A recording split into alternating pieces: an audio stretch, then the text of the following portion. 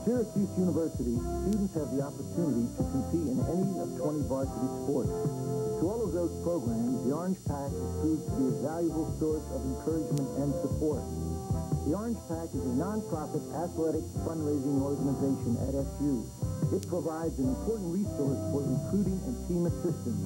This is Joe Szombathy, Director of the Orange Pack, inviting you to call our office at Manley Fieldhouse for further information.